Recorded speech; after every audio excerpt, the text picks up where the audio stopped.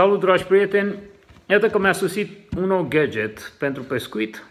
Așa cum vedeți în imagine, e vorba de un ceas. Sunt o Travers Alpha Stealth, un ceas pentru pescuit. Poate vă întrebați de ce pentru pescuit. În timp ce am să-l desfac și am să vi-l arăt, o să vă explic mica mea istorie cu acest producător Sunto, un producător uh, finlandez la origine. Să că acum 10 ani am citit despre Sunto, de fapt citeam în general despre barometre pentru că mă interesa să am un uh, senzor de presiune care să mi arate în diferite perioade ale zilei uh, presiunea atmosferică. Și dacă vă întrebați de ce era importantă presiunea atmosferică, uitați așa arată ceasul, uh, vă pot spune că eu căutam și acum caut să am cât mai bune rezultate când mă duc la o partidă de pescuit. Și căutam să văd cum sunt influențați peștii. Și am înțeles la un moment dat că în momentul în care iese soarele sau tinde să iasă soarele și crește presiunea, peștii răpitori au tendința a merge către zonele superioare ale apei, a urca pe praguri, în special șalou și biban. De asemenea, știu că în momentul în care se încălzește și uh, presiunea este mai mare, atunci este mai activă. Și atunci căutam niște năluci mai reactive, fiind ea foarte activă. În schimb, în momentul în care presiunea scădea, atunci era o problemă și era bine să știu anticipat. Ce se întâmplă? Sunto are la momentul ăla am citit și acum știu foarte clar, are un senzor de presiune uh, foarte sensitiv și foarte predictibil, în sensul că el îmi arată, îmi arată cu 3 ore în urmă ce presiune am avut și cu 3 ore în avans. Uh, și se poate vedea, am să-l reglez eu aici exact pe să nu e mare reglat și practic doar mi-l arată după ce l-am setat pe barometru, îmi arată în cazul ăsta o linie continuă. După cum vedeți, în centrul liniei continuu, nu știu cât de bine se vede exact în partea de jos, există un punct. Deci un punct, o săgeată și o porțiune în spatele săgeții. Practic ce este în, în punctul respectiv este momentul de acum. În spatele săgeții este uh, perioada care a trecut, iar în fața săgeții este perioada următoarele 3 ore ce vor veni. Eh?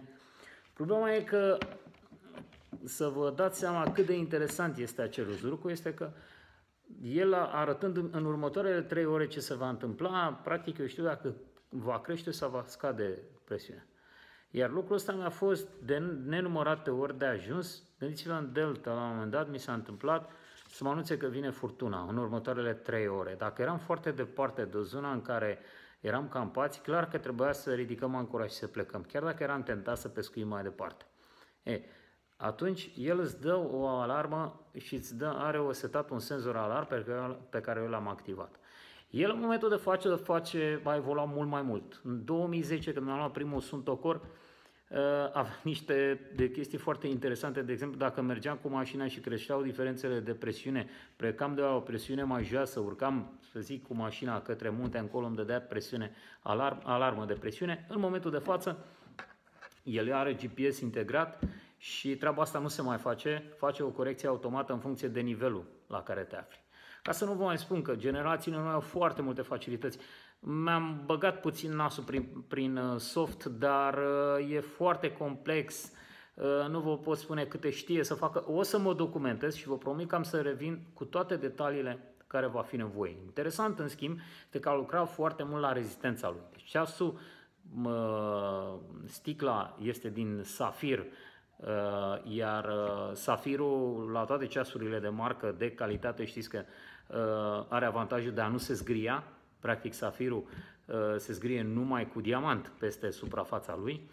Asta mie de folos, mai ales când lucrez cu el la mașină, eu de obicei nu sunt atent. Mai bași până la mașină, pe de sub, mai schimbi o roată, mai nu știu ce, îl atingi, automat se zgrie. Ăsta e un ceas care îl voi purta de acum încolo zi de zi.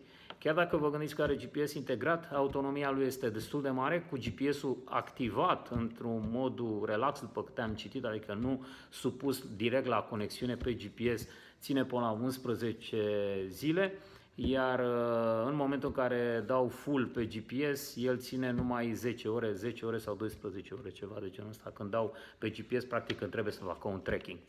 Pentru că, așa cum ați văzut și în uh, poza de pe cutie, el face un trekking și o să revenim aici cu mai multe detalii, o să vă dau mai multe detalii pentru că o chestie foarte interesantă, pescuitul după mal. Bine, el știe să facă multe aici în imagine pentru vânătoare, să-ți marchezi locurile în care ai împușcat. O să mă documentez și am să revin cu mai multe detalii ulterior. Are în pachet și un încărcător. Da, la chestia atașează foarte simplu la telefon. L-am pus la încărcat seara, a doua zi l-am luat încărcat. Deci, o să vă țin la curent și ce e interesant, o să caut să văd, mai ales la ieșirile de la răpitor Biban și Alău, știu că să văd evoluția, asta mă interesează, să văd evoluția în timp și sunt îmi va arăta în momentul în care îmi va arăta uh, constantă, este un lucru foarte bun pentru că știu că nu trebuie să schimb nimic, ci să merg cu același tip de năluci care mi-au dat rezultate, iar dacă văd că se schimbă uh, presiunea, dacă scade presiunea, atunci mă voi duce pe ape mai adânci căut, căutând să urmăresc, să văd unde se află șalou, bibanul sau știu ca, sau, de exemplu, în cazul, știi când e apa mică și pescuiesc în zona cu apă mică și scade presiunea, atunci voi căuta să pescuiesc cu năluci mai puțin reactive. Cu gume, cu voblere suspending, mai puțin portate agresiv, ci lăsate mai mult pe loc. Practic să caut cu ajutorul tehnologiei, da, că asta este, să încerc să mă îmbunătățesc rezultatele. Deci am să revin cu mai multe detalii ulterior, după ce mă documentez și după ce fac câteva partide cu el. Numai bine vă doresc!